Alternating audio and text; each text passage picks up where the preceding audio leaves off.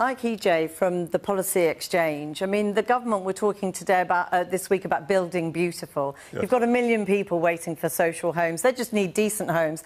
Beauty's a luxury, surely.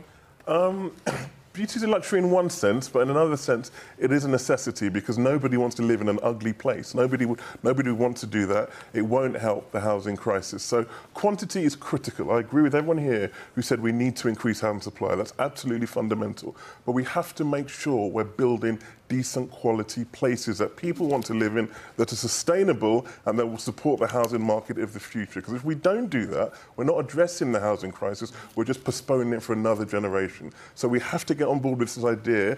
A, quality beauty doesn't have to be expensive. I can show you all kinds of developments. They've had loads of money thrown in them, and they're, they're awful. So it doesn't have to be expensive. Beauty is not just a cost consideration, and we have to make sure that it becomes as commonplace as other considerations like demand or kind of um, mortgage rates when we're deciding where we want to live. But, but, do you not think that the market should be the arbiter of beauty, not, not the Secretary of State being the sole arbiter of what is or isn't beautiful in the UK? I, I, I see this argument, and it, it, it's a seductive argument because beauty is subjective to a degree, but there are quantifiable object, um, objective standards about what makes good places that we should incorporate more. Public spaces, trees, well-designed ro rooms, houses, frontages, etc. We should have that as a matter of Completely course. agree with that. There